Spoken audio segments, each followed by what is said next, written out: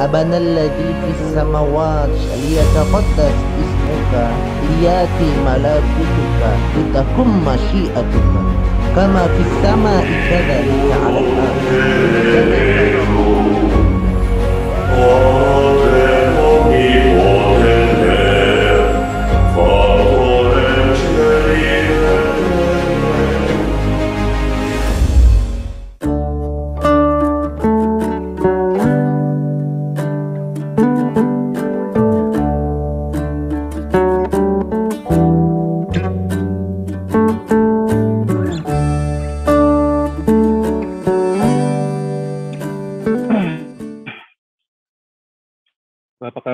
Surga, terima kasih kau- Engkau kumpulkan kami di sini Tuhan. Sebentar kami akan mendapatkan pengajaran ekstra dari Bro Revi. Kiranya Tuhan uh, pimpin dan lancarkan uh, siaran ini, pengajaran ini, agar peserta mendapatkan manfaat dari sharing ini. Ingatkan kami selalu Tuhan untuk melakukan semua ini demi kemuliaan Kau dan demi kemuliaan Kau aja. Dalam nama Tuhan Yesus kami berdoa. Amin. Ya. Terima kasih Bapak Ibu. Eh, kali ini saat ini sesi perkenalan. Saya ingin sedikit memperkenalkan narasumber kita saat ini adalah Bro Revi. Beliau adalah lulusan sarjana ilmu komunikasi, pernah kerja di televisi, tepatnya di SCTV, dan sekarang di salah satu gereja di Jakarta, khususnya di Visi Media. Untuk lebih lanjutnya, saya silakan Bro Revi untuk memperkenalkan diri lebih lanjut. Ya, terima kasih Pak Yohan. Shalom Aleichem, BSM Hamasya. Selamat malam semuanya. Saya formal banget ya ngomongnya ya. Ya, perkenalkan nama saya, nama lengkap saya Revisen B. Tuhumuri. Saya biasa dipanggil Revis aja. Teman-teman juga kalau bisa manggil nama aja, atau manggil bro aja, nggak usah pak lah, terlalu formal buat saya. Ya, jadi apa yang tadi sudah dijelaskan sama Pak Yohan, ya saya pernah bekerja di salah satu TV swasta di Indonesia, uh, itu PT Surya Citra Televisi Indonesia (SCTV). Setelah bekerja di situ, sekarang saya uh, bekerja di media salah satu gereja di Jakarta Barat. Uh, pekerjaan saya, jabatan saya di situ adalah produser dan copyright. Jadi pekerjaan saya, saya mengontrol produksi dari praproduksi sampai kepada tahapan post produksi. Saya bertanggung jawab atas semuanya itu uh, untuk memberikan pertanggungjawaban kepada atasan saya maupun juga kepada jemaat maupun subscriber yang setiap minggu itu menonton. Kemudian malam ini saya akan saya bilangnya membagikan ya sharing ya. Saya akan sharing materi tentang pengantar jadi kita memahami apa itu dunia broadcasting. Karena cukup luas ya, saya perhatiin di kiri ini kan banyak teman-teman YouTuber Kristen, atau mungkin yang punya channel YouTube tapi masih bingung gitu. Gue mau bikin apa ya? Nah, di sini saya akan menjelaskan bagaimana sih sebenarnya tahapan-tahapan yang benar ketika kita membuat sebuah video dan saya bahas di sini tidak mendetail dalam artian satu topik itu saya tidak akan bahas secara detail uh, secara keseluruhan, tapi saya hanya akan menjelaskan secara garis besar karena ini baru pertemuan pertama. Jadi nanti untuk pembahasan detail saya akan membahasnya di pertemuan-pertemuan selanjutnya. Oke, kalau gitu kita langsung masuk saja di materi ya. Saya coba share screen.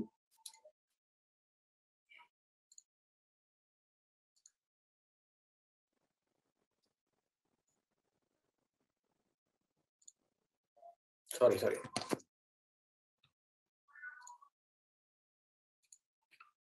mohon maaf kalau di luar itu ada suara azan ya oke pengantar untuk kita memahami dunia broadcasting uh, oleh saya sendiri Revision B2 Muri dan Materi malam ini diselenggarakan oleh komunitas keluarga Iman Rasuli. Ya, kita masuk pada pembahasan pertama. Jadi gini teman-teman, saya ingin lebih formal kali ya. Saya bahasa saya saya ngerasa terlalu terlalu kaku gitu. Jadi gini teman-teman, selama ini kan kalau teman-teman bikin konten, teman-teman bikin kepikiran di otak gitu kan, idenya muncul gitu. Wah, gue mau bikin ini nih. Terus teman-teman langsung create videonya gitu kan. Habis bikin videonya, diedit, tek, udah langsung di posting di YouTube Nah, mungkin mungkin ada beberapa teman-teman yang udah tahu gitu, karena mungkin pernah kuliah ilmu, ilmu komunikasi, uh, atau mungkin yang juga pernah punya pengalaman kerja di media, media apa pun itu media, mungkin media massa. Media massa itu nggak cuma satu ya, media massa itu ada televisi, ada koran, ada radio. Nah, mungkin teman-teman itu udah pernah kerja di situ. Jadi ketika bikin, ya udah bikin aja. Tapi mungkin secara akademik, mungkin belum mengerti secara komprehensif. Oke, jadi komunikasi massa, saya akan membahas dua teori komunikasi massa yang masih relevan digunakan sampai hari ini. Itu satu teori ya, satu teori yang sebenarnya sih dia sudah dipakai dari zaman dulu, tapi dia masih relevan di zaman sekarang. Itu namanya teori jarum hipodermik. Nah, untuk penjelasannya teori jarum hipodermik itu apa, nanti kita akan masuk ke slide selanjutnya. Kemudian, Loh, kok nggak bisa sih ini? Oke, kemudian itu ada yang namanya teori media baru. Atau kalau anak-anak di kampus itu biasanya sebutnya teori nu media. Teori nu media ini dia merupakan sebuah pengembangan, tapi juga, uh, eh, tapi juga dia bisa menjadi satu teori untuk uh, bukan membantah ya, tapi mengimbangi teori jarum hipodermik. Ya, kita masuk ke slide selanjutnya. Oke. Teori jarum hipodermik. Teori jarum hipodermik atau dikenal juga dengan sebutan teori peluru merupakan salah satu teori komunikasi massa, khususnya teori efek media massa yang digagas oleh Harold Laswell pada tahun 1920-an ketika menulis sebuah buku propaganda teknik semasa Perang Dunia. Jadi kita mesti ngerti dulu bahwa teori ini itu pertama kali yang yang gagas adalah Harold Laswell. Siapa itu Harold Laswell? Harold Laswell itu adalah salah satu bapak ilmu komunikasi. Jadi dia mengembangkan teori ini ketika itu tahun 1920-an berarti itu sekitar masa Perang Dunia Pertama ya. Perang Dunia Pertama transisi nanti baru masuk di Perang Dunia Kedua itu di 1940-an. Jadi dia menulis propaganda teknik semasa Perang Dunia Pertama itu. Nah, dia menulis ini karena memang dia fokus dan concern di dalam teori komunikasi. Nah, apa yang dia tulis atau apa yang kita kenal dari tulisan dia, dari teori yang dia bikin sampai hari ini. Nah, kalau teman-teman ngobrol sama anak-anak biasanya lulusan broadcast gitu ya, ketika bilang 5W1 apa sih semua tahu. Saya yakin juga ada beberapa teman-teman di sini pasti udah tahu apa itu 5W1H. What, why, who, where, when. Jadi dasar ini yang biasanya dipakai ketika seseorang itu uh, mau membuat berita atau mau membuat sebuah artikel. Tapi biasanya ini dipakai di sebuah berita nih bagi teman-teman youtuber nih yang hari-hari ini lagi banyak bikin video tentang uh, jejak digitalnya Yaya Waloni atau Abdul Somad. Teman-teman bisa pakai metode ini jadi yang pertama itu what. What itu apa yang diomongin. Jadi apa sih sebenarnya yang diomongin sama si orang ini gitu kan. Kemudian why? Kenapa dia ngomongin itu? Jadi alasannya apa dia ngomong gitu? Who yang tadi, siapa yang ngomong? Kemudian when, kapan dia ngomong itu? Kemudian where, di mana dia ngomong itu? Kemudian how, bagaimana dia ngomong itu. Jadi dari situ baru nanti dampaknya dari apa yang dia omongin ini. Oke. Sampai sini saya berharap teman-teman bisa nangkep nih dari uh, konsep yang dibuat oleh Harold Laswell ya. Oke, kita masuk ke slide selanjutnya. Jadi teori jarum hipodermik ini merupakan salah satu model komunikasi linear yang menitik beratkan pada kekuatan pengaruh media terhadap khalayak. Jadi teori ini sebenarnya dia dititik beratkan atau atau pengennya ya mereka pengennya itu adalah kekuatan pengaruh medianya terhadap kalayak. Kalayaknya itu siapa? Kalayak itu adalah penonton. Orang-orang yang nonton konten berita yang dibikin oleh si medianya itu. Entah itu dari koran kah, entah itu dari radio kah, entah itu dari televisi kah. Saya nggak bilang YouTube ya, karena beda-beda. YouTube itu tidak masuk dalam uh, apa namanya teori komunikasi jarum hipodermik. YouTube itu nanti kita akan bahas di teori komunikasi yang selanjutnya di media. Oke, jadi sangat dititik beratkan pada kekuatan pengaruh medianya.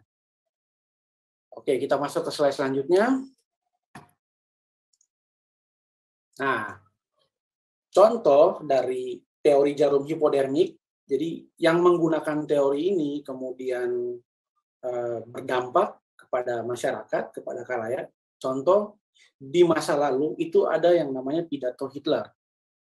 Jadi pidato Hitler itu sangat berdampak. Kalau teman-teman yang mungkin suka baca tentang sejarah Perang Dunia Kedua, atau mungkin pernah menonton film-film seperti The Pianist, atau film-film tentang Perang Dunia Kedua, nah teman-teman pasti akan ingat tuh bagaimana sangat berpengaruhnya pidato Hitler ketika dia bilang bahwa ras Arya adalah ras yang lebih unggul dan orang-orang Yahudi itu harus dibasmi. Nah, itu sangat berpengaruh dan memang fakta sejarah mengatakan bahwa pidato Hitler itu mempengaruhi banyak orang, terutama ya disebarkan ya melalui media-media pada saat itu, melalui media komunikasi komunikasi massa seperti koran atau radio. Kalau televisi mungkin pada saat itu belum terlalu banyak ya orang yang pakai gitu. Lebih lebih dominan pada saat itu adalah uh, radio dan koran. Nah, itu berpengaruh. Dan itu mempengaruhi banyak orang sehingga apa? Sehingga banyak orang Yahudi yang dipersekusi, banyak bahkan di luar non yang non area pun itu ada juga yang dipersekusi. Itu satu. Kemudian, mohon maaf ini saya ada tipe nih. Ini nyambung, nggak ada koma ya. Kasus pemenggalan guru Prancis yang dipicu kebohongan murid. Teman-teman pasti ingat ya, kasus beberapa satu atau dua tahun yang lalu yang di Prancis yang berdampak sampai hari ini. Nah, sebenarnya itu ternyata adalah kebohongan murid. Tapi itu baru terungkap belakangan. Di awal-awal mereka bilang bahwa gurunya itu menista, menista nabinya, nabinya dari saudara-saudara muslim gitu kan. Nah, karena hal itu akhirnya gurunya kan dipenggal. Dan pemberitaan media pada saat itu sangat masif saya lebih bicara kepada dalam konteks ini masih teori jarum hipodermik, saya bicara tentang uh, media televisi atau media radio dan media cetak. Karena kalau kita udah masuk media online itu udah bukan masuk dalam uh, teori komunikasi jarum hipodermik. Jadi begitu berdampaknya sehingga akhirnya terjadi gelombang demo sana sini. Bahkan di Indonesia kita tahu sendiri banyak juga yang demo kan. Nah, teman-teman ingat di slide yang tadi sebelumnya saya bilang bahwa concernnya menitik beratkan pada pengaruh media terhadap kalayak. Nah, cirinya dari dari teori jarum hipodermik adalah sesuai dengan teorinya. Karena dia jarum hipodermik, dia peluru, jadi dia hanya berjalan satu arah. Tidak ada timbal balik. Nah, itu bedanya teori jarum hipodermik dan teori numedia. Kalau teori jarum hipodermik, berita diberikan terus menerus, terus menerus, terus menerus. Kalayaknya dicuci otaknya, dibikin terus menerus, terus menerus. Enggak kita yang nonton nggak bisa langsung komen ketika kita nonton berita, ketika kita nonton TV. Kita nggak bisa komen. Nah, itu adalah ciri dari teori jarum hipodermik. Kita masuk ke slide selanjutnya. Nah, sebarkan kebohongan berulang-ulang kepada publik. Kebohongan yang diulang-ulang akan membuat publik menjadi percaya bahwa kebohongan tersebut adalah sebuah kebenaran. Kutipan ini tuh sangat terkenal sekali. Siapa yang membuat kutipan ini? Siapa yang berkata-kata seperti ini? Dia adalah Paul Joseph Goebbels. Bukan Paul Joseph uh, si itu ya, yang kemarin-kemarin si bidat itu ya bukannya bukannya. Bukan Paul Joseph Sang ya, bukan bukan. Paul Joseph Goebbels. Dia siapa? Dia adalah Menteri Penerangan Publik dan Propaganda Nazi. Jadi Kalau di masa lalu itu dibilangnya Menteri Penerangan Publik dan Propaganda. Itu ada biasanya dan sah-sah saja. Kalau sekarang kata propaganda itu diganti. Jadi mereka tidak bilang propaganda itu sebagai propaganda, tapi mereka mengganti dengan kata kampanye kalau pada saat ini ya. Karena di era tahun 1930-an sampai 1940-an, propaganda itu adalah salah satu kata-kata yang konotasinya positif. Kurang lebih sama seperti sekarang yang kita maksud dengan yang arti kata kampanye. Nah, jadi sebarkan kebohongan berulang-ulang. Sebarkan kebohongan berulang-ulang, sehingga nanti satu titik kebohongan itu dipercaya sebagai suatu kebenaran. Sebenarnya nggak masalah kalau seandainya media media massa itu memberitakan berita yang merupakan satu kebenaran ya, itu nggak apa-apa, diulang-ulang pun nggak masalah. Tapi ketika kebohongan yang disebarkan, maka itu menjadi suatu kebenaran di titik tertentu ya. Nah, makanya kita bersyukur, puji Tuhan, haleluya. Saat ini sudah ada yang namanya media baru, yaitu media yang berbasis internet yang kita gunakan hampir semua orang bisa menggunakan media tersebut dan bisa berinteraksi, berpartisipasi. Ada Facebook, ada Instagram, ada YouTube. Oke, nanti saya akan jelaskan detail di slide selanjutnya. Oke, contoh dari teori jarum hipodermik ini digunakan di dalam media seperti media apa saja, televisi dan radio. Kenapa saya nggak kutip koran karena menurut saya memang masih ada orang yang baca koran saat ini tapi saya pikir jumlah orang yang baca koran dibandingkan dengan jumlah televisi dan radio saya pikir lebih banyak orang yang nonton televisi atau dengerin radio. Jadi ini contoh medianya. Jadi kita nggak bisa ketika kita dengar berita yang disampaikan berulang-ulang itu kita tidak bisa langsung memberikan tanggapan. Itu contoh itu ciri dari teori jarum hipodermik Oke, kita masuk ke pembahasan selanjutnya. Kita masuk ke poin yang selanjutnya yaitu teori media baru. Media baru atau new media adalah sebuah terminologi untuk menjelaskan konvergensi atau titik temu antara teknologi komunikasi digital yang terkomputerisasi serta terhubung ke dalam jaringan. Bahasa sederhana dari new media ini adalah media yang berbasis internet itu aja. Jadi kalau teman-teman bisa lihat di gambar, di gambar ini saya ambil ilustrasinya bola bumi itu dikelilingi oleh logo-logo dari eh, media sosial, logo-logo media sosial. Situ ada YouTube, ada Pinterest, ada Instagram, ada Google Plus, ada macam-macam, ada Yahoo, ada Skype, ada Facebook, macam-macam.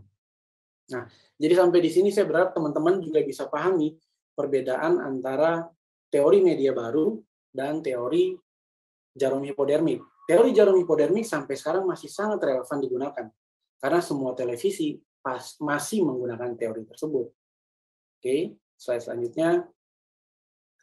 Menurut Marshall McLuhan, media baru atau new media adalah perkembangan teknologi komunikasi yang dalam sejarahnya telah memperluas jangkauan komunikasi manusia di sisi lain, McLuhan menggunakan istilah media baru untuk mengartikan sesuatu yang sangat mirip dengan yang dimaksudkan saat ini. McLuhan tidak belum hidup di era kayak kita. Dia hidup di era sebelum internet itu berkembang dengan pesat. Dia adalah salah satu bapak ilmu komunikasi juga. Jadi menurut dia, apa yang dia gambarkan kurang lebih seperti saat ini, yaitu perkembangan teknologi teknologi komunikasi yang dalam sejarahnya telah memperluas jangkauan komunikasi manusia. Dia memperluas. Jadi gini, di mana ada BTS internet berdiri, di situ orang sudah bisa connect ke internet. Orang udah bisa nonton wifi. Kalau orang itu megang gawai ya, gawai bahasa Indonesia-nya. Bahasa Inggrisnya device atau eh, handphone lah. Ketika orang pegang handphone, ketika ada menara BTS-nya dan jaringan internetnya sudah sampai di situ, udah orang udah bisa langsung login ke Facebook jadi apa yang digambarin sama McLuhan ini itu sangat-sangat mendeskripsikan keadaan kita pada saat ini.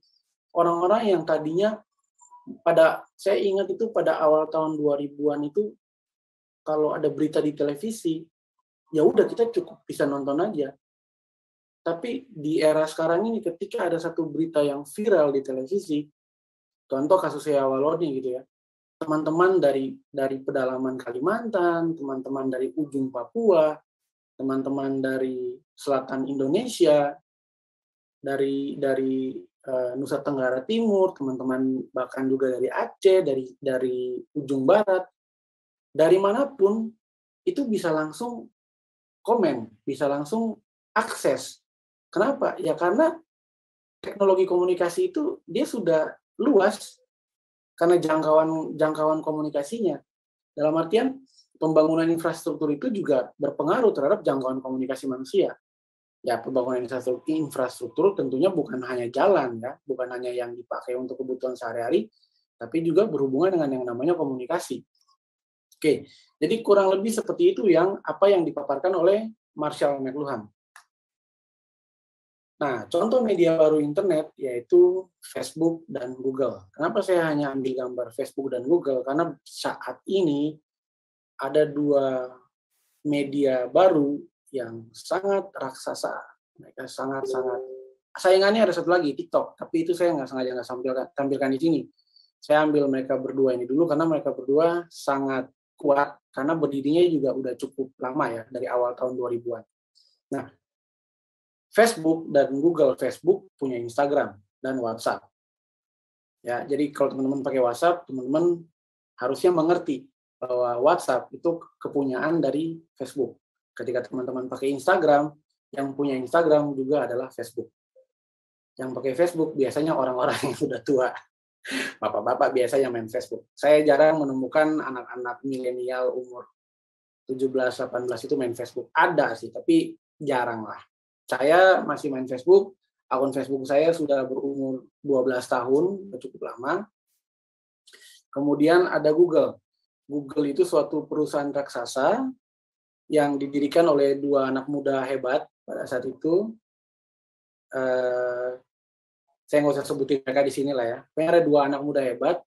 Nah, Facebook itu kemudian uh, mengakuisisi atau atau mengambil membeli YouTube karena YouTube itu ketika berdiri dia bukan di bawah Google. Jadi kalau teman-teman pakai YouTube, teman-teman harusnya mengerti bahwa Google yang punya YouTube.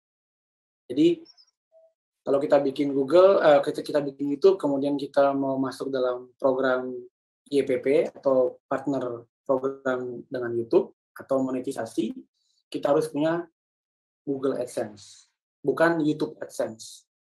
Gitu. Jadi Google betul-betul sangat kuat, sangat besar. Bahkan saya baca ketika saya baca-baca artikel itu ada yang memprediksikan bahwa di 10 sampai 20 tahun ke depan eh, Google dan Facebook itu bisa benar-benar merajai dunia media.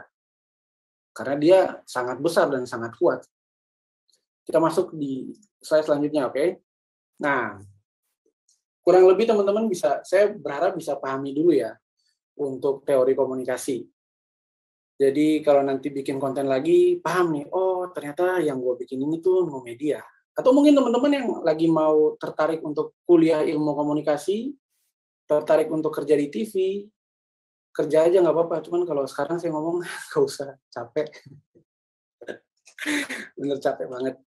Tapi kalau masih mau masuk gak apa-apa. Untuk nama pengalaman sangat bagus. Akan terbentuk mentalitas yang petarung, yang kuat, itu biasanya dibentuk karena pernah kerja di TV. Eh, tepat waktu karena ada tenggat deadline, jam tayang, segala macam. Nggak apa-apa, masuk aja nggak apa-apa. Kalau nanti udah kena tifus, baru nggak apa-apa, mengundurkan diri aja nggak apa-apa, atau cari kerjaan yang lain nggak apa-apa. Tapi kalau memang masih mau kerja nggak apa-apa, bagus kok. Oke, sekarang kita masuk di pembahasan selanjutnya. Kita masuk, saya sebutinnya produksi konten ya. Produksi konten di sini maksudnya adalah eh, bagaimana proses kita membuat sebuah konten. Kita harus mengerti bahwa konten itu nggak bisa langsung gujuk-gujuk langsung diupload, nggak nggak bisa kayak gitu. Dia ada prosesnya. Oke, yang pertama yang kita bahas adalah jabatan produksi. Ini saya bicara dari sisi akademisinya ya, akademiknya ya, dalam artian standarisasinya harusnya seperti ini. Walaupun pada kenyataannya di lapangan ketika saya produksi konten saya sendiri juga, triangle system ini saya yang bikin sendiri. Jadi saya juga produser, saya juga penulis naskah, saya juga sutradara. Terus bahkan saya juga jadi editornya. Jadi ada empat bahkan empat jabatan produksi yang saya kerjakan dalam satu waktu. Oke, kita masuk ke dalam triangle system. Ketika teman-teman nonton film atau ketika teman-teman nonton uh, berita ya, berita dan film itu adalah dua jenis program yang berbeda. Berita itu masuk dalam kategori produksi non drama, sedangkan kalau film itu masuk dalam kategori produksi drama. Bedanya di mana? Bedanya ya jelas jenisnya. Oke, yang pertama produser. Apa sih sebenarnya itu produser? Produser itu ada bukan cuma satu ya, tapi ada banyak. Tapi di sini saya berfokus kepada yang namanya produser konten. Karena nanti ada yang namanya eksekutif produser.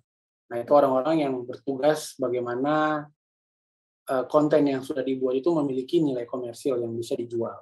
Oke, tapi kalau produser program atau produser produser konten dia bertugas bertanggung jawab untuk mengcreate atau bahkan membuat sebuah program dan mengontrol sampai kepada program itu selesai dibuat dan program itu tayang. Ya, itu tugas dari si produser. Jadi contohnya kayak gini, ketika meeting brainstorm, dia akan menemukan ide. Itu biasanya produser. Wah, gue punya ide nih. Gimana kalau kita bikin konten yang membahas tentang sejarah gereja contoh gitu ya. Karena channel saya saya anak ilmu komunikasi tapi channel saya membahas tentang sejarah gereja itu nah dikembangin. Ide ide ide ide karyanya itu udah muncul. Sejarah gereja. Oke produser akan ngembangin lagi apa yang kita mau bahas sejarah gereja. Oke berarti kita mesti membuat sistematikanya dulu dari gereja mula-mula gereja purba terus kemudian masuk gereja pada abad pertengahan, kemudian kita akan masuk pada zaman protestan, kemudian kita masuk lagi kepada zaman modern. Nah, kira-kira berapa episode yang bisa kita bahas? Untuk gereja purba, berapa episode yang bisa kita bahas? Nah, si produser itu akan uh, mengajak tim produksinya untuk berpikir. Kemudian dia memutuskan bahwa, oh berarti kita harus produksi satu episode, durasinya sekian.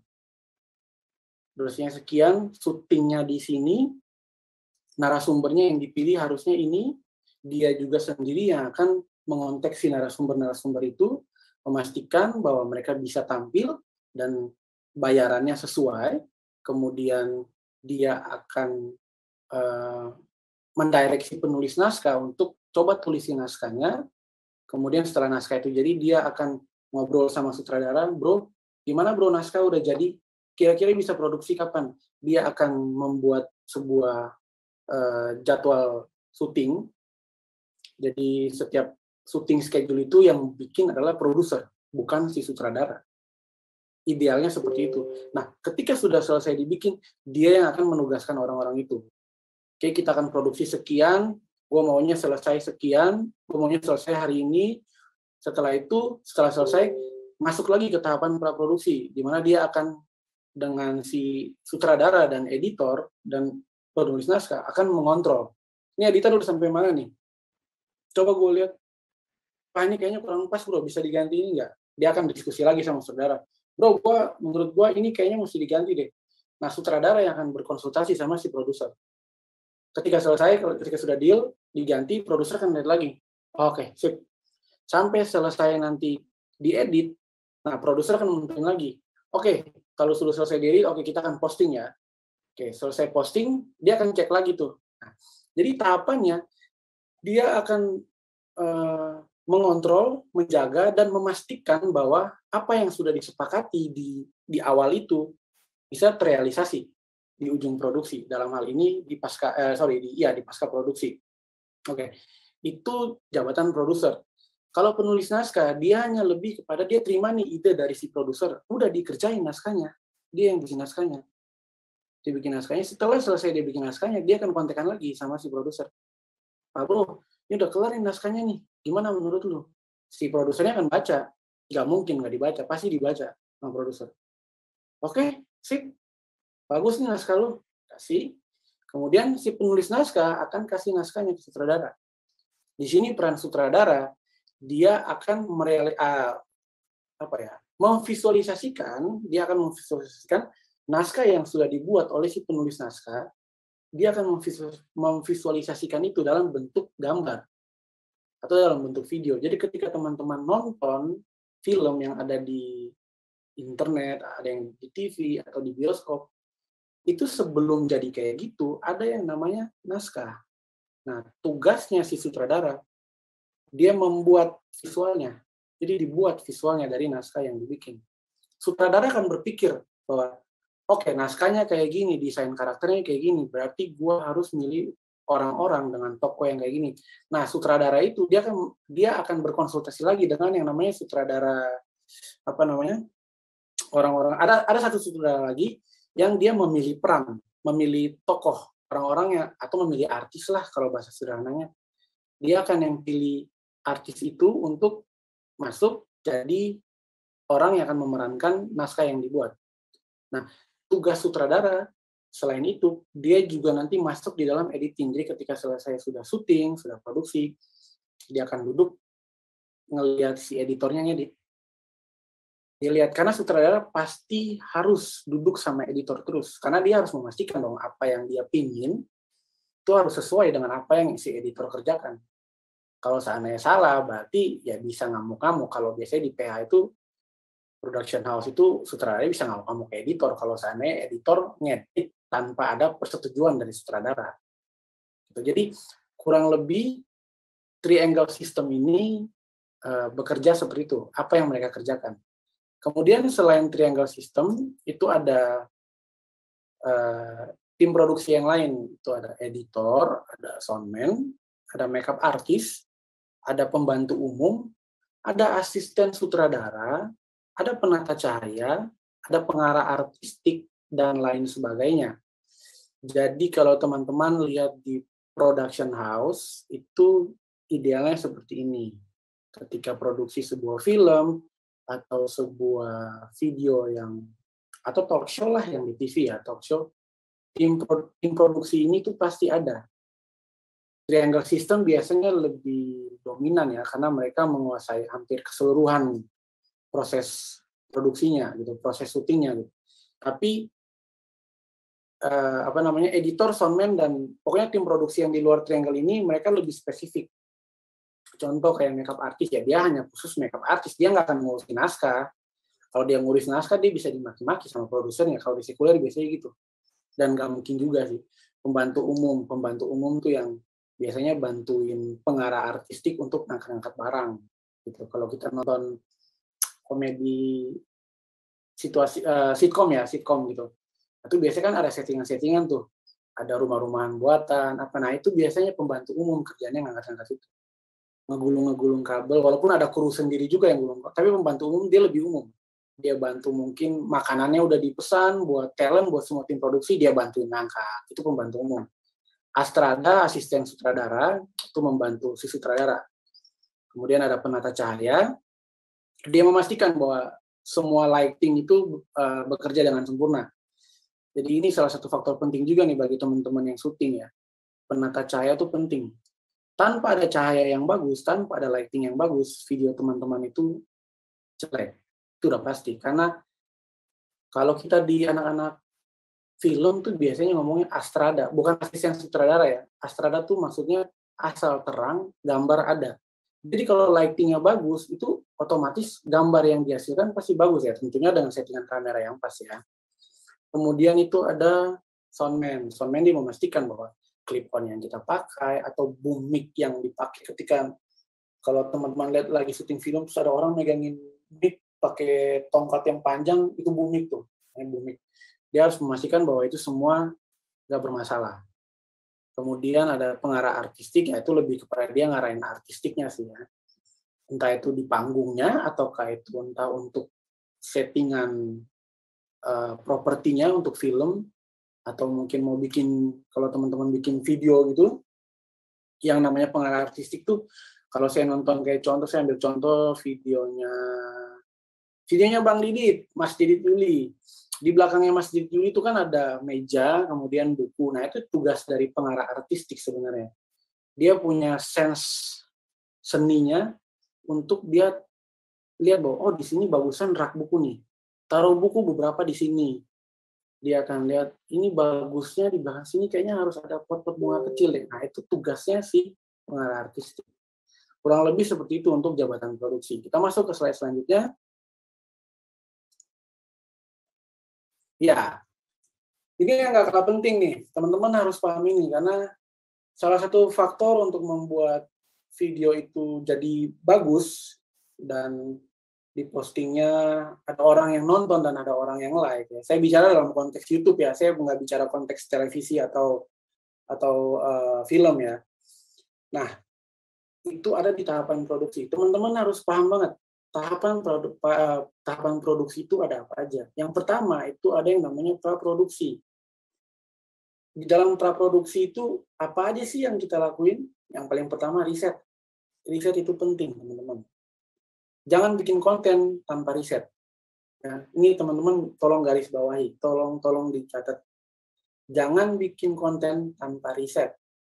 Ya, riset itu maksudnya gini, teman-teman baca buku, teman-teman nonton video-video orang lain yang membahas tentang apa yang teman-teman mau bikin, teman-teman mungkin bisa datang langsung ke lokasi, teman-teman mungkin bisa ngobrol sama saksi mata orang yang kenal sama sama si penulis uh, si ya si penulis atau si pembuat uh, materi yang teman-teman mau bahas ini. Nah, riset itu penting. Kenapa? Ketika teman-teman bikin konten tanpa riset dan ternyata datanya salah, teman-teman harus siap dikritisi, bahkan paling parahnya siap untuk dilaporkan ke pihak berwajib. Jelas. Gaya Waloni ngaco ya jelas ngaco karena dia bikin tanpa riset dan dia tidak jujur ketika dia bilang bahwa Alkitab sudah dipalsukan. Kalau dia riset dengan benar, dia harusnya tahu bahwa manuskrip perjanjian baru itu ada lebih dari 5.400 manuskripnya. Salinan-salinan dari dari dari dari dari bukan salinan, sorry, manuskripnya ya. Ketika orang tahu bahwa oh ternyata ketika dia riset ya faktanya seperti ini, dia nggak akan bikin naskahnya sembarangan itu contohnya kurang lebih kayak gitu. Kemudian ada yang namanya penulisan naskah. Ketika riset itu sudah berlangsung dengan baik, dia sudah dapat data-data yang diinginkan, kemudian ditulislah naskahnya. Contoh ketika saya bikin konten sejarah gereja, saya punya buku-buku tentang sejarah gereja. Buku tentang sejarah Tuhan, bibliologi, sejarah gereja umum, kemudian uh, mengenal gereja ortodoks, ada beberapa buku ada The Bible Code silsilah kitab perjanjian saya punya banyak banyak buku tentang uh, kekristenan. Saya cari tahu dulu saya baca dulu saya lihat dulu benar atau enggak gitu. Ketika itu sudah riset itu sudah saya lakuin terkonfirmasi kemudian saya tulis naskahnya saya ketik naskahnya udah jadi. Nah baru masuk kita masuk ke selanjutnya itu dana penting ya. Produksi itu harus mikirin dana jadi ya kalau produksinya gede, ya, kalau produksinya kecil, saya pikir nggak terlalu pusing. Tapi kalau produksinya gede kayak film ya perlu dipikirkan. Ini syuting berapa lama, gitu kan?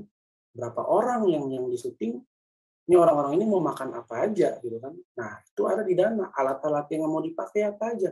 Apakah harus beli? Apakah harus sewa? Nah itu perlu dipikirin karena bisa lah kita produksi tanpa dana lah. Minimal teman-teman handphone handphone aja kan beli kan itu masuknya di dana. Kemudian properti. Properti yang seperti tadi sudah saya jelasin. Jadi apakah mau ada penambahan-penambahan ornamen-ornamen di di latar belakang, apakah mau naruh rak buku, ataukah buku-buku apa aja yang dipajang. Ya kan itu perlu dipikirin juga, jangan ternyata syutingnya tentang sejarah gereja, buku yang dipajang, buku tentang resep masakan, itu kan ngaco jadinya. Jadi itu penting dipikirin. Kemudian wardrobe, pakaian apa yang dipakai. Syuting film pendek, ini syutingnya tentang uh, naskahnya kurang lebih tentang mengemis jalanan.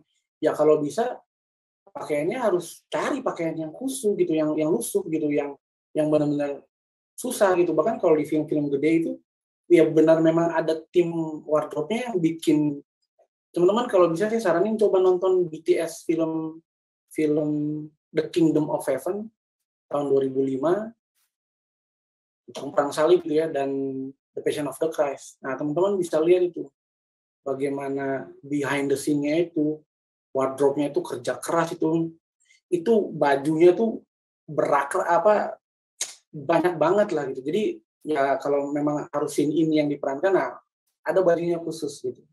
Saya pikir semua film pasti begitu. Kemudian ada yang namanya pembentukan tim produksi. Nah, ini yang tadi saya udah jelasin di awal dari dari tugasnya produser. Oke, kemudian kita masuk di selanjutnya itu tahapan praproduksi tadi ya. Kemudian produksi.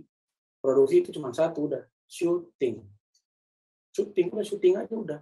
Apa yang sudah disepakati di dalam praproduksi ya udah diaplikasikan di dalam produksi syuting berhari-hari mungkin kalau syuting film tapi kalau syuting yang mungkin konten-konten sederhana yang YouTube yang durasinya mungkin hanya 10 sampai 15 menit paling lama saya pikir itu nggak mungkin berhari-hari lah oke kemudian jadi nggak bisa nih produksi itu syuting itu dilakukan tanpa produksi yang baik itu teman-teman perlu catat juga ketika proses praproduksi semuanya udah baik udah lengkap baru teman-teman bisa produksi. Kemudian kita masuk di tahapan ketiganya yaitu pasca atau post production, post produksi, pasca produksi. Itu masuk di uh, editing dan tayang. Jadi ketika sudah selesai syuting ya udah tinggal diedit. Edit mau ditambahin apa? Editing pun itu sebenarnya ada dua tahapan ya teman-teman. Ada yang namanya editing offline dan editing online. Maksudnya bukan online internet bukan. Maksudnya editing offline itu adalah editing di mana proses cut to cut atau menjahit gambar itu dilakukan. Jadi nggak boleh tambahin lagu dulu, jangan. Tapi saya nggak bilang ini mutlak, cuman kalau saya, saya biasanya ngikutin itu. Saya satu-satuin dulu gambarnya. Ketika sudah disatuin gambarnya, kemudian baru ada yang namanya proses editing online. Editing online itu penambahan grafis, penambahan efek, eh, color grading, sama penambahan background musik atau kalau dalam film itu ada yang namanya proses ADR, ADR, Adaptive Recording. Saya lupa itunya. Adaptive harus dialog, adaptive dialog recording. Jadi kalau teman-teman nonton film, kenapa kok percakapannya bagus banget ya dialog itu direkam ulang teman-teman. Itu bukan diambil yang pakai bumi itu bukan enggak. Yang diambil pakai bumi itu nanti dihapus setelah masuk di pasca produksi. Kemudian dalam tahapan editing online itu ada yang namanya coloring. Jadi diwarnain videonya. Kadang-kadang kalau settingan kamera, kadang-kadang kan ada yang kita bisa salah, ah, terlalu gelap nih. Atau wah keterangan nih. Kalau bisa terlalu gelap lebih aman daripada terlalu terang.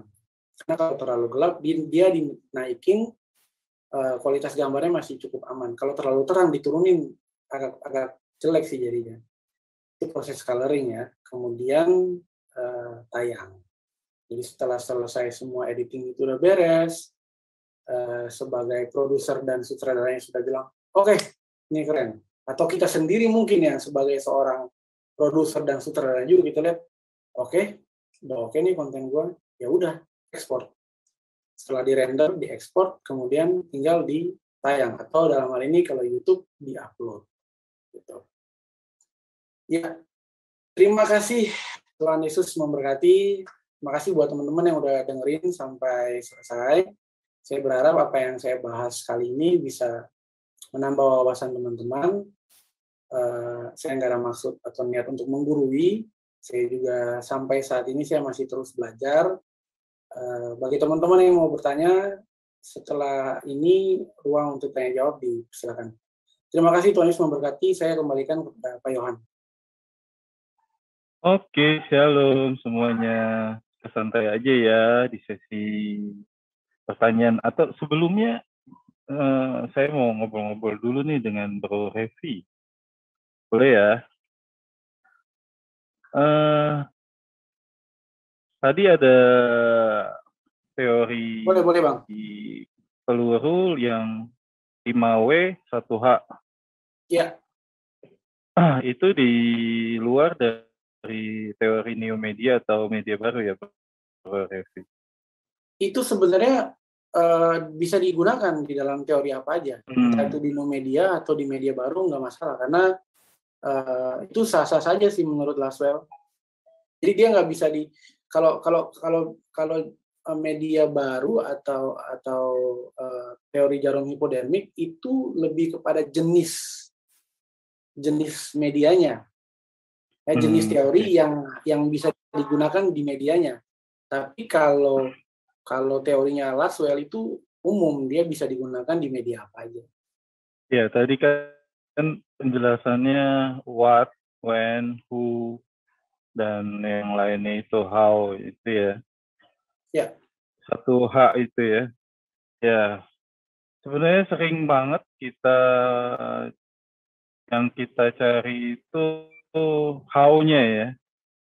Iya, Seperti bagaimana? tutorial, fix problem, tapi itu kadang jarang di internet, di YouTube maupun itu. Eh, memang ada, tapi jarang yang di- memikirkan tentang itu. Eh, Maksudnya how di to-nya sini ya. tuh begini, Bang. Sorry, saya saya tambahin lagi. Hmm, hmm. Maksudnya how di sini itu adalah bagaimana dia mentransmisikan informasi yang dia kasih. Gitu. Nangkap nggak, Pak Yohan? Bagaimana? Gimana? Bung? Jadi jadi gini. Jadi what itu Hmm. siapa? What itu siapa? Ah, sorry, Oh, apa? oke. Apa apa apa apa eh, informasi yang dia kasih.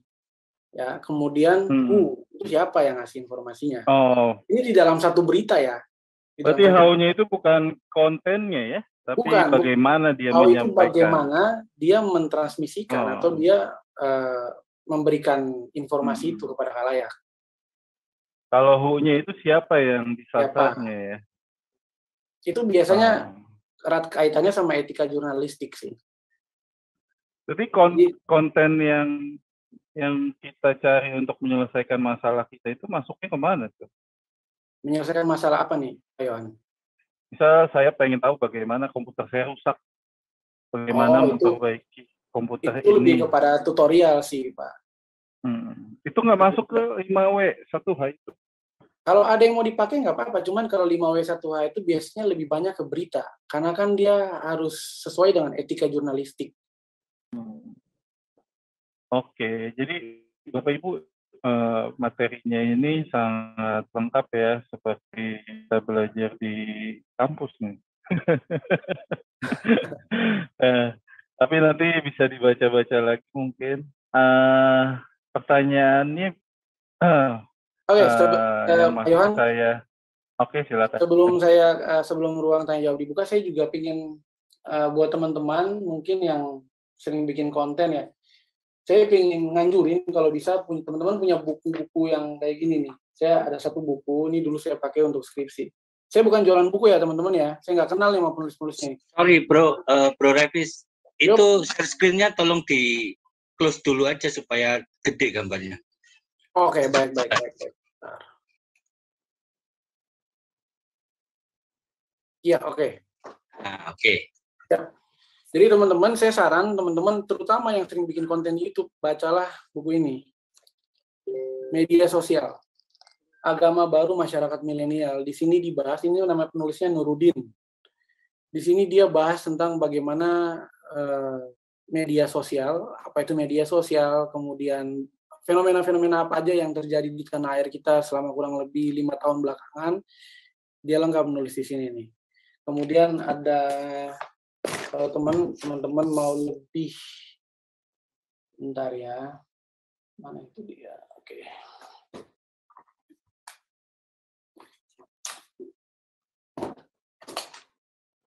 buku ini dulu saya sering pakai waktu bikin tugas judul bukunya ini manajemen media penyiaran strategi pengelola radio dan televisi karena memang tugasnya lebih banyak tentang televisi ya dan radio karena saya juga waktu itu akhir-akhir di televisi. Jadi memang buku ini banyak dipakai. Dia lengkap untuk ngejelasin tentang bagaimana sih kita manajemen penyiaran itu kayak gimana. Dan sebenarnya manajemen penyiaran itu bisa diterapkan juga nanti ketika teman-teman bikin konten di YouTube. Saya saranin, ini ini saran doang ya, nggak nggak usah dibeli juga nggak apa-apa. Cuman kalau bisa teman-teman yang suka baca atau mungkin yang nanti niatan mau serius kuliah komunikasi, apalagi yang mau kuliah wajib beli buku.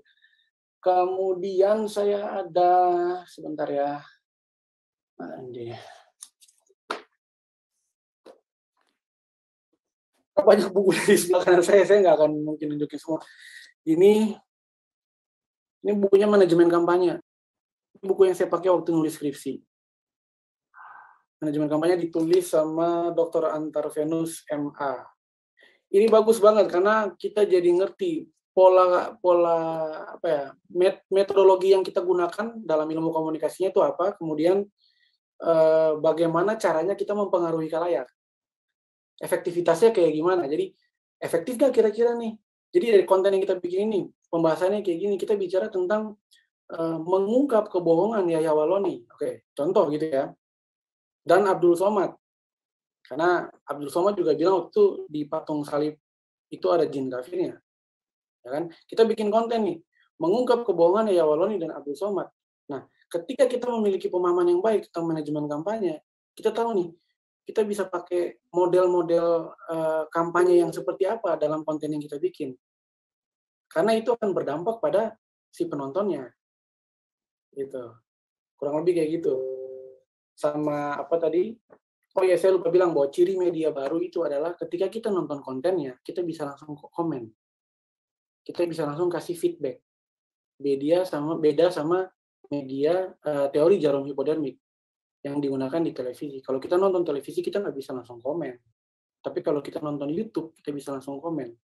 Kita buka Facebook ada orang uh, share video kita bisa langsung komen. Kita buka Instagram ada orang share foto kita bisa langsung komen. Itu ciri dan beda antara teori jarum hipodermik dan teori media. Kemudian ada ada dua buku lagi ya. Udah dua buku ini dua buku terakhir lah. Tiga buku sih sebenarnya sih.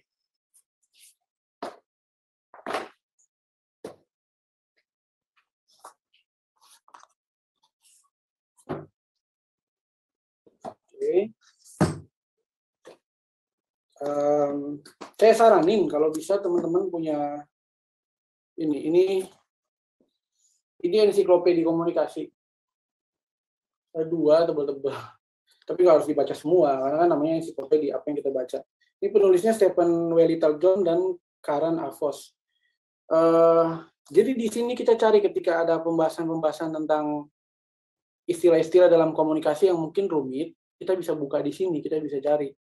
Dan pembahasannya cukup lengkap. Kemudian ada satu buku lagi, tapi ini sebenarnya lebih kepada buku pelajaran anak-anak SMA si tingkatan menengah ini Anton Mabruri. Manajemen produksi program acara TV. Format acara drama. Jadi dia lebih fokus kepada produksi kayak sinetron, sitkom, gitu. Karena dia bukan acara berita, gitu. Tapi ya, sorry untuk mengingatkan waktu. Ya, siap. Saya pikir uh, cukup sekian. Terima ya. kasih. Jadi pertanyaan-pertanyaan yang masuk ini sepertinya bagaimana membuat podcast, bagaimana membuat channel YouTube. Jadi Bapak Ibu, eh, pengajaran ini akan bersesi-sesi, tapi eh, ini akan memudahkan kita untuk mengkomunikasikan. Misalnya, saya kok bikin channel YouTube, udah bikin konten, udah bikin video, tapi nggak ada yang nonton. Nah, nanti akan berhubungan dengan teori-teori yang diberikan oleh Bro Repi. Betul begitu, Bro? Betul, setuju. Ketika kita yeah. paham tentang teorinya, kita membuat kontennya jauh yeah. lebih uh, baik sih. Mm -hmm. Jadi kita belajar dulu nih istilahnya dari Bro Heavy yang udah belajar ilmu komunikasi. Jadi kayak macam pertanyaan bagaimana membuat podcast itu nanti bisa langsung japri atau bisa Japri Bro Revi maksud saya atau nanti juga bisa Boleh. mengikuti sesi-sesi kita yang selanjutnya. Begitu Bro? Boleh, boleh. Pak Anton, uh, Pak sorry, Pak Yohan bisa bacain aja pertanyaan yang udah masuk, Pak. Ya, pertanyaannya itu Bro, bagaimana membuat podcast, bagaimana membuat channel YouTube? Oke, bagaimana membuat podcast dan bagaimana membuat ini yang di itu ya, Halo Revi, saya mau tahu teknik-teknik bagaimana buat video dengan, oh ini beda lagi ya. Oke, ya, pertanyaannya saya, saya langsung jawab aja.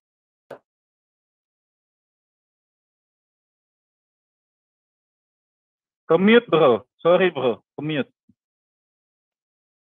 Sorry, sorry, sorry. Membuat podcast itu sama saja sebenarnya dengan membuat YouTube. Ya teman-teman mau bikin podcast, apa yang mau diomongin? Tulis aja dulu naskahnya naskah tuh penting, praproduksinya harus ada. Apa yang teman-teman mau ngomongin? Teman-teman udah bikin riset belum? Jangan ngomong asal-asalan di podcast. Contoh gitu.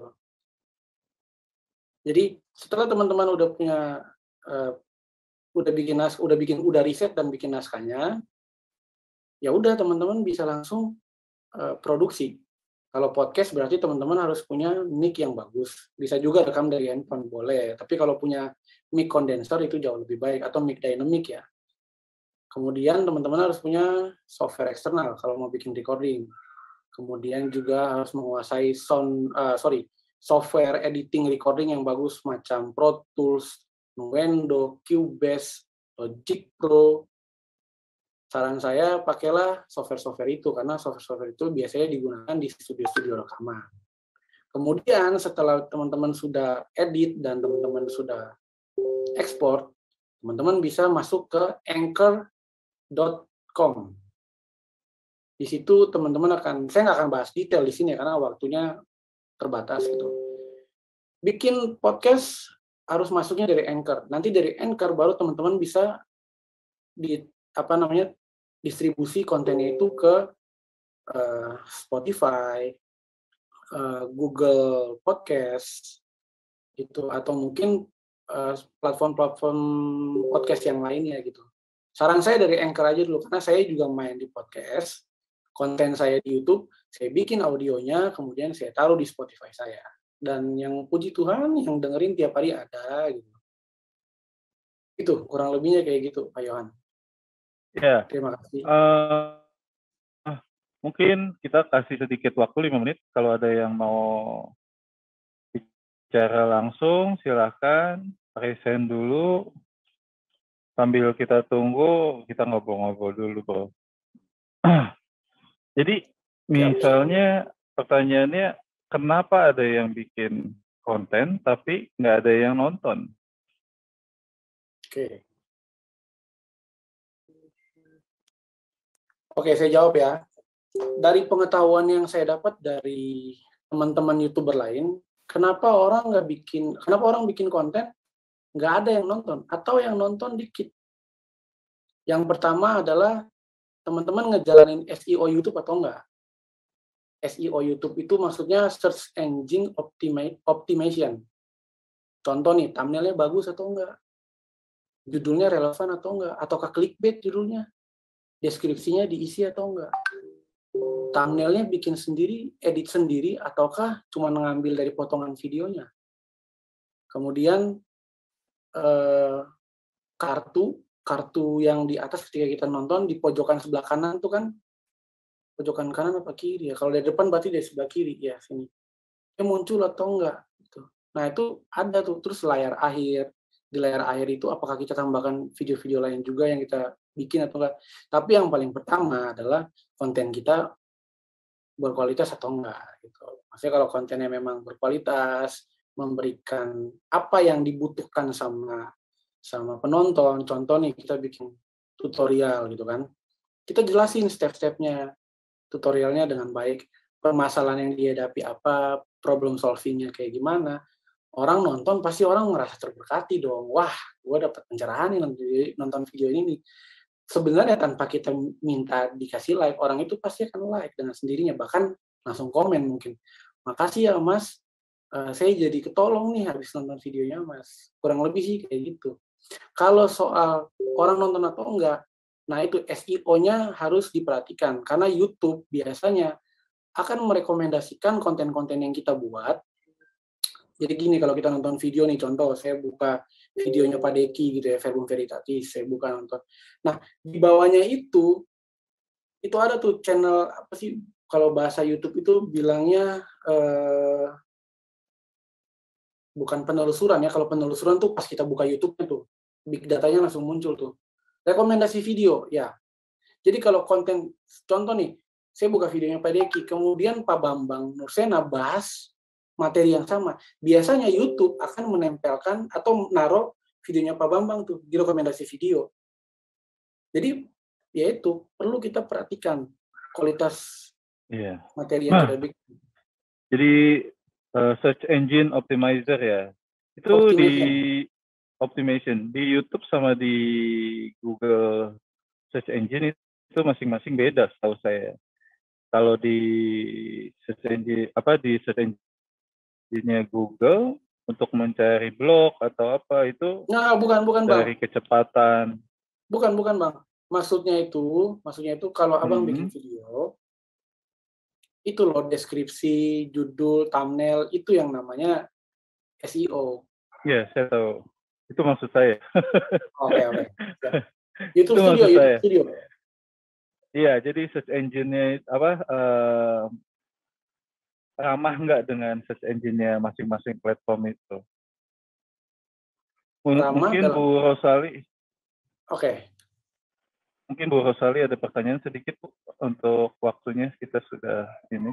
Silakan dibuka mic-nya. Ya, gimana? Udah bisa didengar ya suara? Coba. Oke bu. Langsung aja Bu.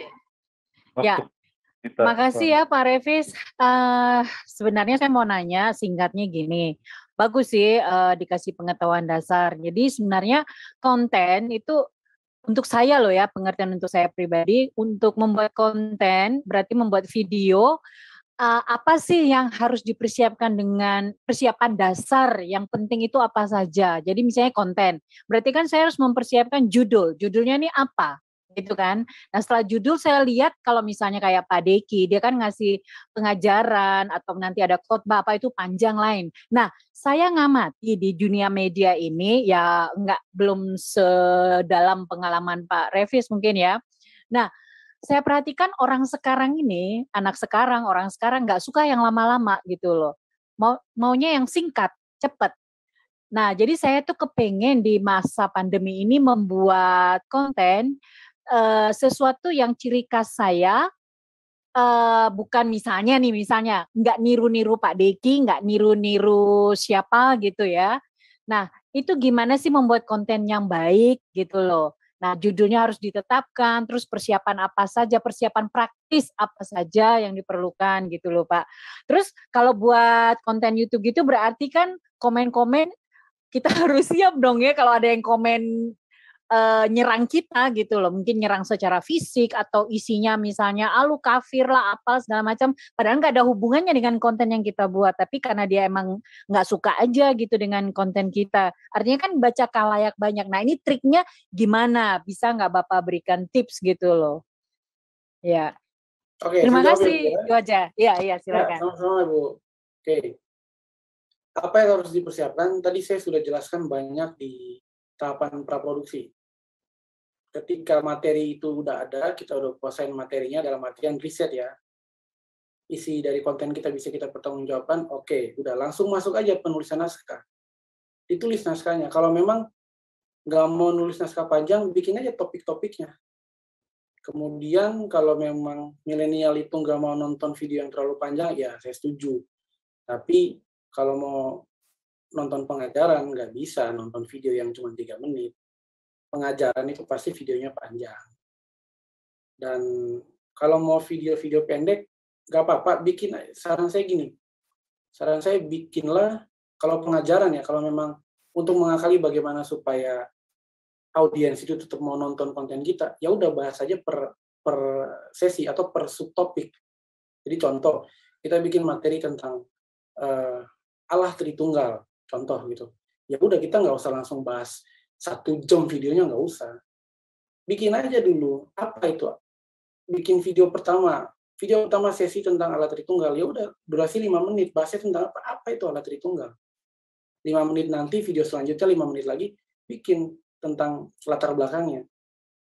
Bagaimana istilah alat Tritunggal itu ada di dalam gereja. Bahas itu aja dulu. Kemudian udah selesai. lima lima menit aja.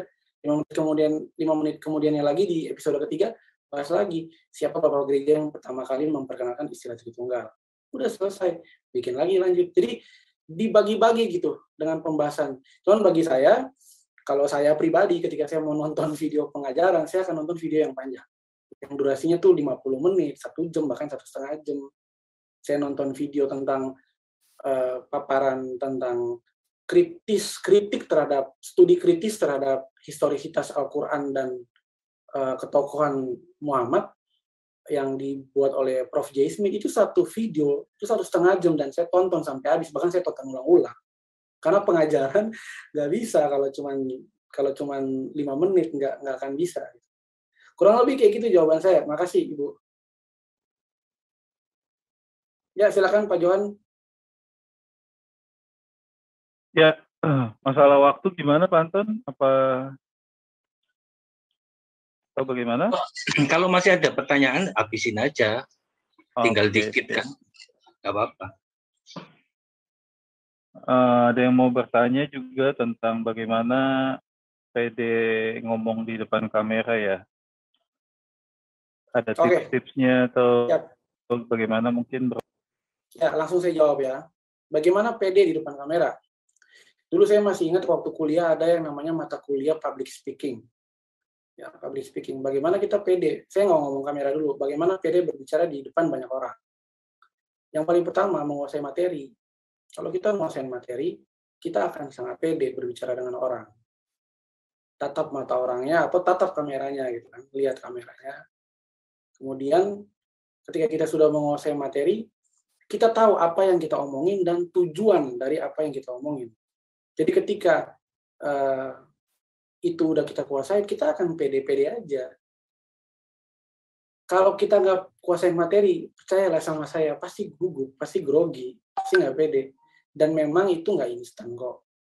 Itu akan akan saya juga kalau teman-teman nonton video saya dari episode 1 sampai episode 12 tentang sejarah gereja, itu ada perubahan-perubahan kok. Ada orang yang kasih masukan, kayak Bang Yohan ngomong sama saya, bro lu ngomongnya kecepatan bro, ya udah kalau gitu saya pelanin.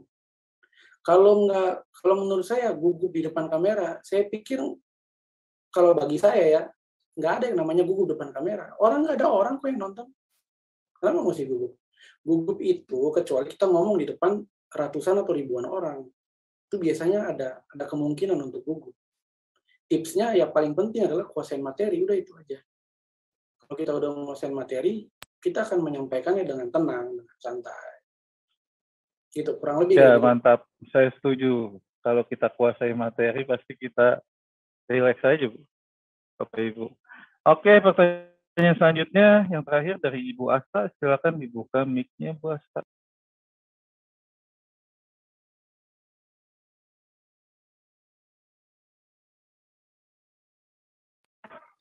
Bu Asta, silakan.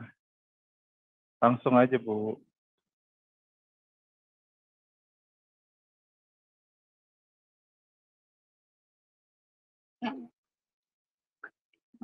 Oke, terima kasih. Tadi nggak bisa di di mute. Eh, maaf, saya datang ter- terlambat. Saya eh, nggak tahu apa pertanyaan ini, ini sudah ditanyakan atau belum. Jadi Ya, saya mau bertanya, langsung aja, Bu. ya, eh, bagaimana dengan audio? Audio itu eh, kalau kita rekam, apalagi kalau outdoor, outdoor ya, itu suka suka nggak bagus gitu kalau kita edit gitu. Gimana Pak tipsnya untuk supaya audio ini bagus gitu? Terima kasih, itu pertanyaan saya. Oke, langsung saya jawab ya. Audio itu atau mic itu ada beberapa tipe.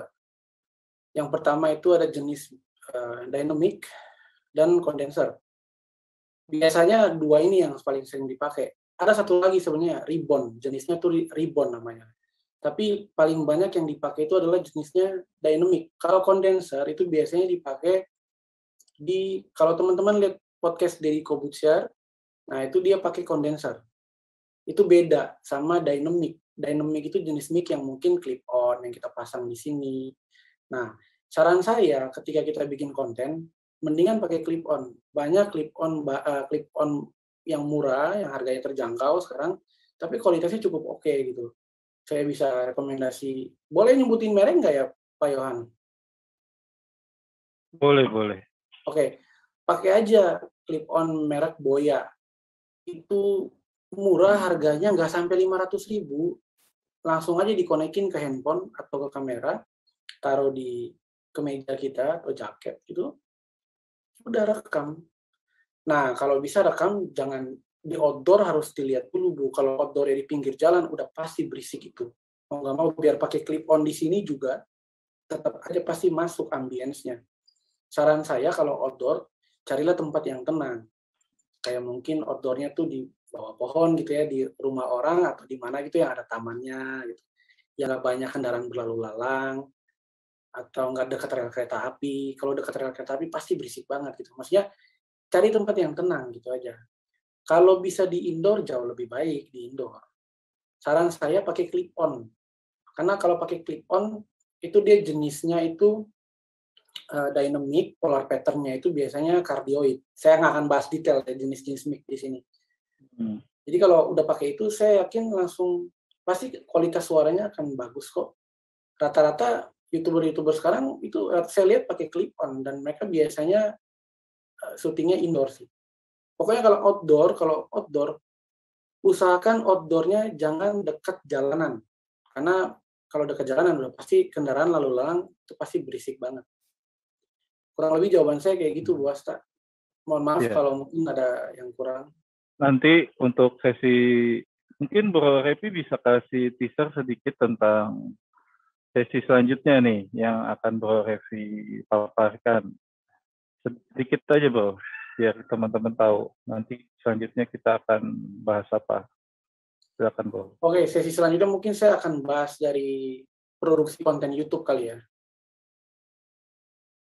Jadi uh, audionya pakai apa aja, kameranya pakai apa aja, editingnya kayak gimana sih? Gimana kalau sih bisa, gitu? Kalau bisa teman-teman tuh pengen tahu ada minimal speknya, starter packnya ya. itu apa?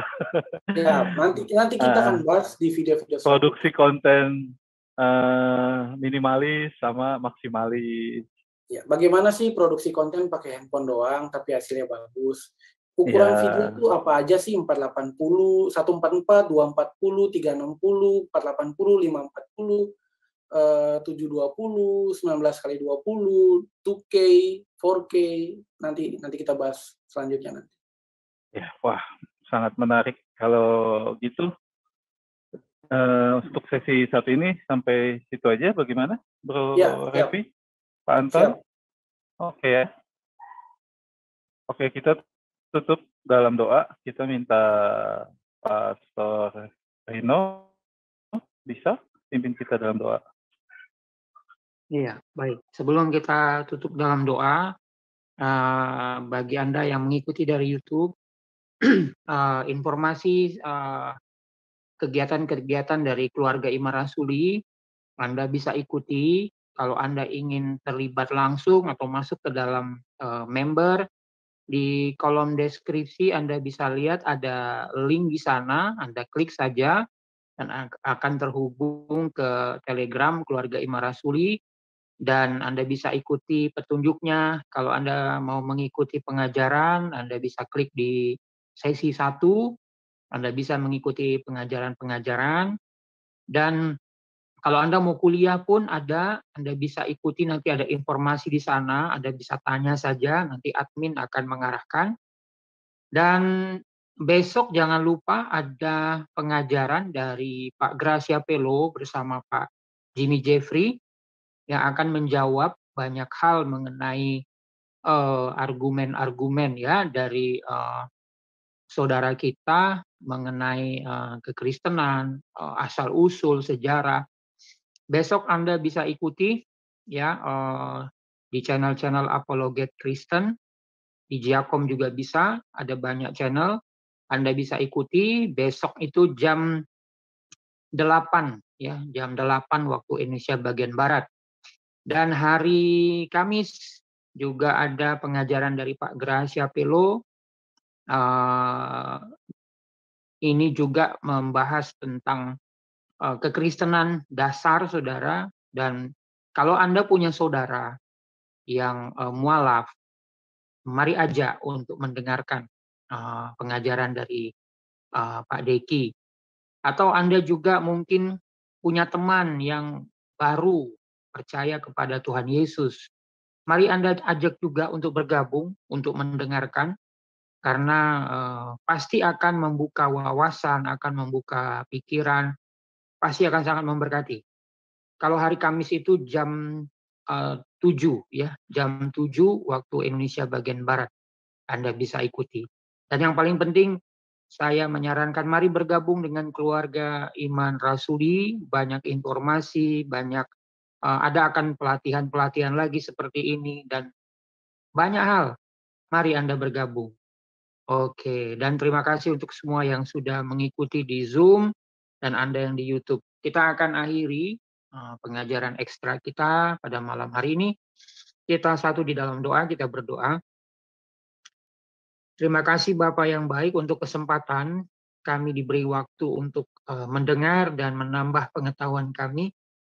Dan kami percaya di hari-hari terakhir ini uh, pelayanan melalui media sosial, melalui virtual, uh, dunia maya, kami percaya inilah uh, pelayanan yang terbuka di dalam segala sesuatu yang dibatasi, ruang dan waktu yang dibatasi, kami percaya dengan apa yang kami pelajari dan kami dengar itu akan melengkapi kami untuk pelayanan kami lebih lanjut. Kami akan menggunakan media yang sudah ada dengan dengan uh, cerdas, dengan hikmat dari Engkau, dan Roh Kudus akan membantu kami. Apa yang sudah kami dengar ini akan menolong kami untuk melengkapi pelayanan-pelayanan kami yang sudah ada melalui YouTube, uh, media-media sosial lain, bahkan yang akan memulai pelayanan kami percaya ini semua akan uh, membekali kami. Pimpin kami Roh Kudus dan kembangkan segala sesuatu di dalam potensi diri kami. Kami percaya akan berkembang karena Engkau mau melibatkan kami juga semua untuk terlibat di dalam pelayanan, untuk terus bercerita tentang Engkau Tuhan Yesus di media-media sosial, di segala macam platform yang sudah tersedia kami mau uh, memakai semua ini, teknologi semua untuk kemuliaan Engkau saja, Tuhan Yesus. Terima kasih Engkau memberkati uh, Bro Revis di dalam pekerjaannya, di dalam pelayanannya. Semua ada di dalam kendalimu ya Bapa dan Engkau memberkati masa depannya. Kami percaya terus Engkau memakai dia rencana-rencana kehidupan pribadinya Engkau memberkati kami tetap percaya terus Engkau memberikan kemudahan bagi Bro Revis di masa yang akan datang. Kami percaya. Kami bersyukur dan kami semua akan beristirahat, berkati istirahat kami. Kami tidur berkualitas, kami bangun besok dengan tubuh yang sehat, berkat baru, urapan baru bagi kami. Kami akan berpisah, tetap ikatan tali kasihmu Tuhan Yesus bersama dengan kami semua. Kami akhiri pertemuan sesi pengajaran kami pada malam hari ini. Hanya di dalam nama Tuhan Yesus kami berdoa. Amin. Terima kasih Bro Revi, Pak Yohan. أبنا الذي في السماوات ليتقدس اسمك ليأتي ملكوتك لتكن مشيئتك. كما في السماء كذلك على الأرض.